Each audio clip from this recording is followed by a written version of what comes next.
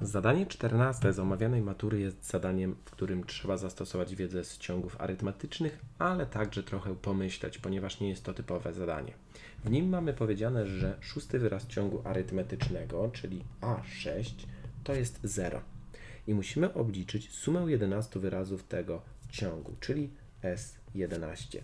I my tak naprawdę mamy wzór na S11 jako A1 plus A11 na 2 i razy oczywiście 11. Dlaczego?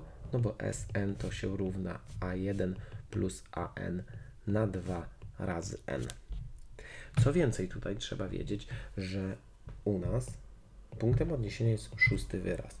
Czyli zauważ, ja wiem, że A6 to się równa A1 plus 5 erów. Czyli aby obliczyć A1 dla mnie, A1 dla mnie to będzie 0 minus 5 erów. A A11 to dla mnie będzie A1 plus 10 erów.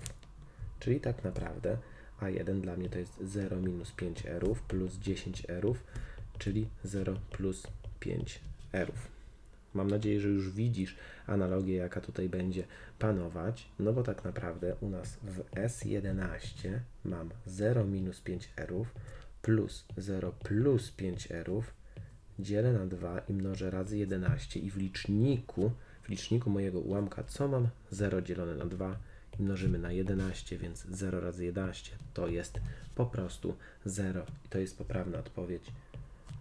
Odpowiedź A. Mam nadzieję, że Twój wynik był taki sam, a jeśli nie, no to tak naprawdę przeanalizuj, co tutaj tak naprawdę u Ciebie nie zagrało.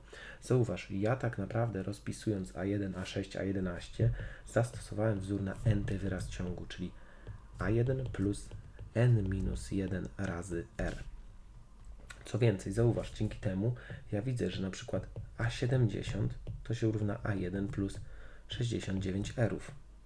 Mogę inaczej napisać, że to jest a na przykład 12 plus ile erów. Ja muszę wiedzieć, że ta liczba i ta liczba ma mi dać liczbę, która jest w indeksie naszego wyrazu, czyli 12 plus ile to jest 70, tak, plus 50 po prostu 8. Czyli w zależności od tego, co mi potrzeba, ja tutaj wziąłem 70 jako przykład. W zależności co mi potrzeba, wiem, co mogę podstawić tym zadaniu to będzie na tyle. Jeśli podoba Ci się, jak tłumaczę i chciałbyś, chciałabyś, abym pomógł Tobie indywidualnie przygotować się do matury, no to zapisz na Matura z Matmy na Facebooku. Wtedy tak naprawdę odpowiem Ci, jakie są szanse podjęcia ze mną współpracy, a jeśli chcesz zostać na bieżąco z materiałami, jakie subskrybuję, jakie ja publikuję, to Ty zasubskrybuj ten kanał i kliknij w dzwoneczek, aby dostać powiadomienie na temat nowych nagrań. Wielkie dzięki, do zobaczenia, cześć.